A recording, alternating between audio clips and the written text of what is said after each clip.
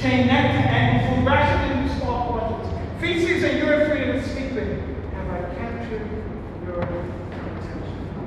Welcome to America, land of the free. As long as you don't have skin like me, where a grown man still call a boy and put in an auction block, and his wife, his wife is pushing and breathing, breathing and pushing, and the outcome of child that isn't his. Massive green-eyed son that's raised in the main house by a white woman by the name of Liz.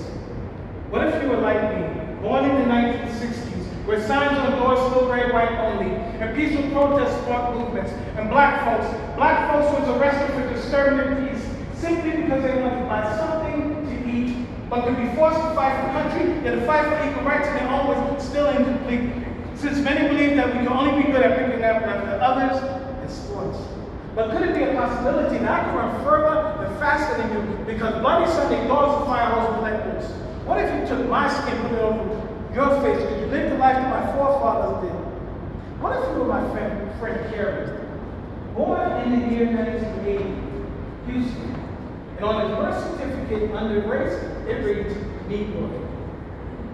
Houston, we have a problem. so I have a question. Would you rather be lived to, as a black man to the age of 100 or as a Caucasian to the age of 50?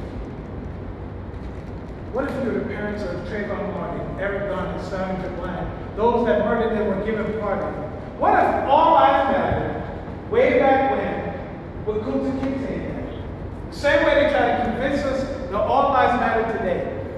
And again, maybe all lives do matter. And black lives are excluded. What if? What if? What if?